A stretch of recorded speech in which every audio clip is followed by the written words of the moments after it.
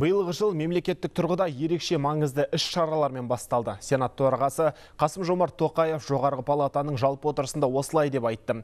Спикер елбасының жолдауы тарихи маңызды құжат. Себебі президент төртінші өнеркәсіптік революция қарсаңындағы елімізді одан әрі дамытудың нақты бағдарламасын ұсынып, негізгі міндеттерді белгілеп берді деді.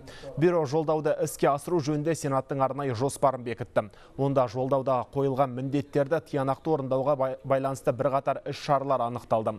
Маңызды құжаттағы негізгі міндеттерді заңнамалық тұрғыдан қамтамасыз ету біздің басты міндетіміз деді Қасым Жомарт Тоқаев. Сондай-ақ президенттің ақш жасаған сапары экономиканың тамырына қан жүгіртеді деп айтты. Жуырда елбасының Америка құрама штаттарына ресми сапары сәтті аяқталды.